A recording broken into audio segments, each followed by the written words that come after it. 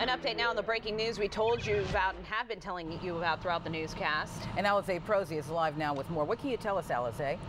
Well, here I'm still live at Barney Street. Now, I want you to take a look up there on that steeple. I know we showed you this a little bit ago, but you can see that it's gotten a little bit worse up there, and you see that it's kind of tumbling down. It's because those firefighters are working as hard as they can to try to get those flames under control. Earlier when we were here, those flames were about 20 feet higher than that steeple, so they're making some progress, but as you can tell, it's still a very, very active scene.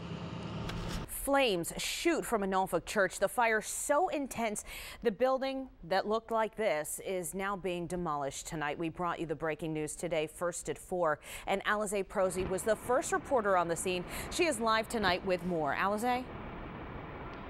As you can see behind me, this is a completely different scene than what we saw earlier. A church has been completely demolished, and you can see firefighters are spraying some of the hot spots, making sure nothing rekindles again. The most important part of this story is that everybody is safe tonight. God, Jesus. Huge flames shoot through the roof of the Church of God True Holiness. I just cannot. I cannot believe this. Priscilla Early grew up at this Norfolk church. Her father is the pastor. She watched as dozens of firefighters sprayed gallons upon gallons of water to try to get the fire under control. When her dad got to his church tonight, he was devastated to see more than 40 years of memories get devoured by flames. He was speechless.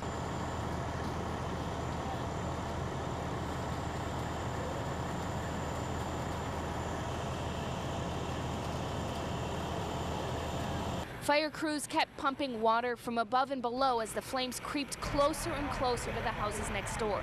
Ruth Harris was home when the siding of her house started melting away. I knew um, that, you know, the church was on fire, but I didn't know I was in danger until they came and knocked on the door to let me know how close it was. To the left of the church is Joseph Ward's house. He was home with his wife and two young kids when a firefighter crashed through their window.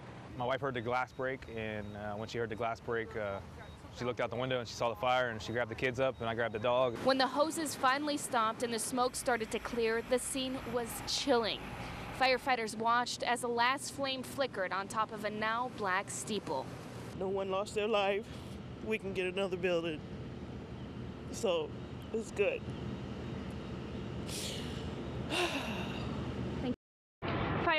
Tell me this was accidental. How this began was actually two weeks ago when some thieves went underneath the church and stole some copper wiring. Somebody was in there working on it today, and the soldering started this fire. That's what firefighters tell me. Now, the two people that were displaced earlier today, they're back home tonight. They're allowed to go in here now that this is finally demolished. Live in Norfolk, Alize Proisy, News Channel 3.